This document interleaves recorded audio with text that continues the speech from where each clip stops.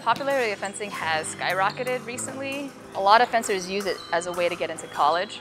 Getting into college has become much more competitive, and people are always looking for that leg up.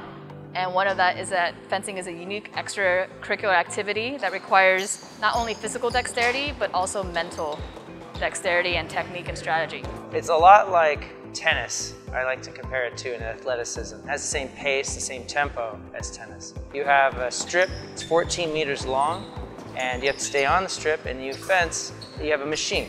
And whenever you hit someone, a light will go off on the machine. So there's a lot of athleticism and distance setting, just like martial arts. Very similar to martial arts, actually. There are three forms or weapons of fencing.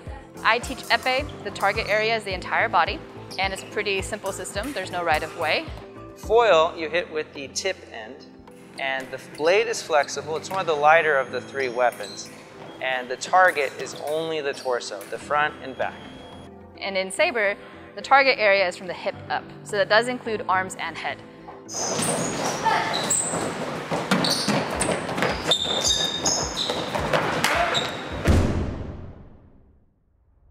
Our club was on this upward trajectory, and then with COVID, it kind of just ground it to a halt.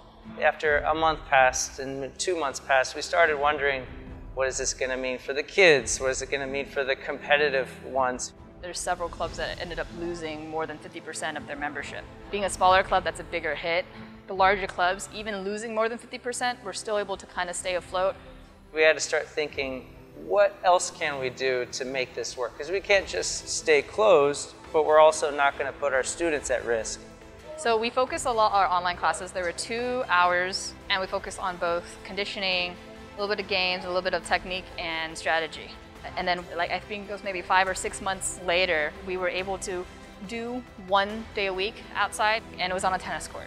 You know, we chose to do everything by the book in order to put our members' safety first. We were able to make it work. And so I'm happy that we were able to do that while being as safe as possible. If we can handle something horrible like a pandemic, then we can handle almost anything. It just takes perseverance.